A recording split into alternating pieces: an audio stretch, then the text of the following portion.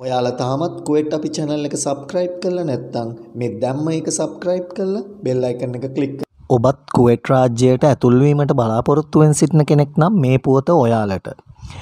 Delta ප්‍රභවය එසේත් නැත්නම් ඉන්දිය corona ප්‍රභවය මේ වන විටත් කුවෙට් රාජ්‍ය ආක්‍රමණය කර අවසානයි.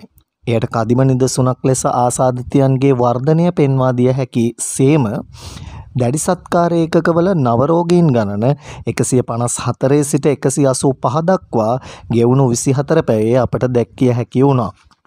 ඉතින් කුවෙට් රාජ්‍ය පෙන්වා දෙන පරිදි ගුවන් තොටුපළ විවෘත කිරීමට නියමිතව තිබුණත් මේ නව ඩෙල්ටා ඉන්දිය ප්‍රභේදය නිසා රට විවෘත කිරීම ඉතා අවදානම් සහගත බවයි.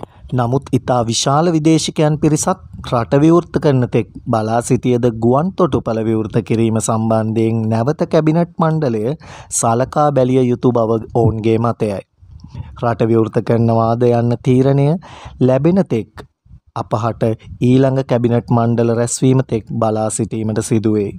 මීළඟට අවධානය කුවෙට් රාජ්‍යයේ අවන්හල් හා වෙළඳ සංකීර්ණ සම්බන්ධයෙන් කුවෙට් රාජ්‍ය ඔබ දන්නවා පසුගිය කාලය පුරාම ක්‍රමයෙන් ක්‍රමය ඔවුන් රට විවෘත කරද්දි අවන්හල් එතකොට වෙළඳ සංකීර්ණ ක්‍රමයෙන් විවෘත කර. ඔවුන් ඒ කාලය ටික ටික දීර්ඝ කරමින් ඔවුන් ලොකු උත්සාහයක් ගත්ත රට ක්‍රමයෙන් විවෘත කරන්න.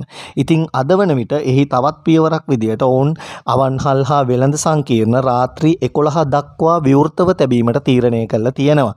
නමුත් එය නිශ්චිත වශයෙන්ම අපට දැනගත හැකිවන්නේ ඊළඟට එළඹෙන කැබිනට් මණ්ඩල තීරණයේදී.